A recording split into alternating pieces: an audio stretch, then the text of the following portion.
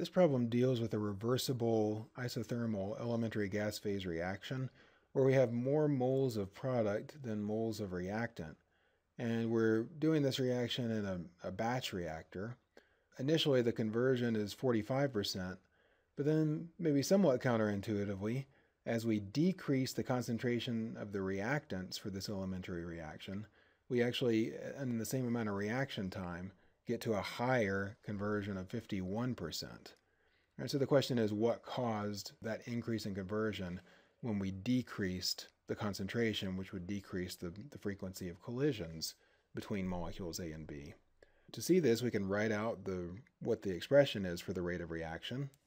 That expression is shown here where we have the rate is equal to a rate constant, all right, times the concentrations of the reactants for the forward process, right, minus the rate of the reverse process, which is equal to the forward rate constant divided by the equilibrium constant times the concentrations of the reactants raised to their stoichiometric coefficients. And we know we can write the rate law in this way because we're told that this is an elementary gas phase reaction so that the concentration dependence is reflected in the stoichiometry of the reaction.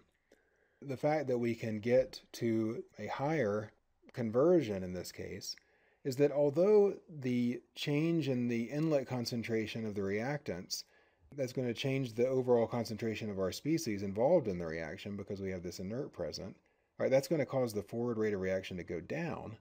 But you can see that the reverse rate of reaction is even more dependent on concentration than the forward reaction. And so it's going to go down by more.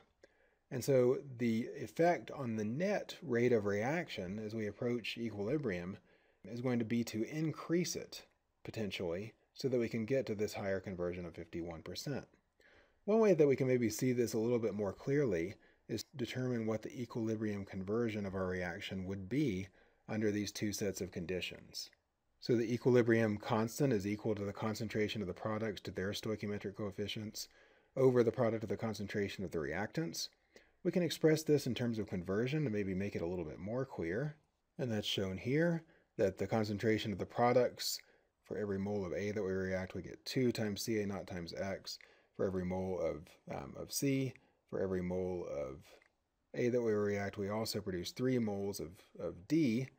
Right, and so that's taken into account by this stoichiometry, are raising those Ca naughts to uh, the second and third order. All right, and then in the denominator, um, both concentration of A and concentration of B would be equal to Ca naught times 1 minus x if we have, for example, a stoichiometric feed of A and B.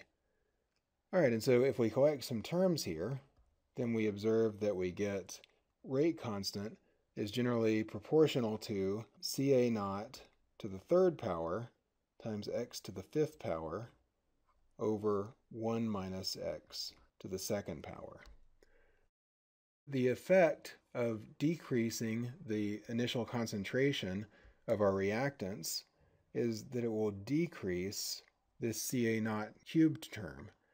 And so the equilibrium constant is not affected by this. It's a function only of temperature. And so that means that the overall ratio has to remain the same. And the only way for that to happen is for the equilibrium conversion to go up. All right, so the equilibrium conversion has to go up in order to have the overall value of the equilibrium constant remain constant when the Ca naught cube term goes down as a result of this change we're making. All right, so the x must compensate by increasing. That means we get to a higher equilibrium conversion when we operate at lower initial concentration of reactants.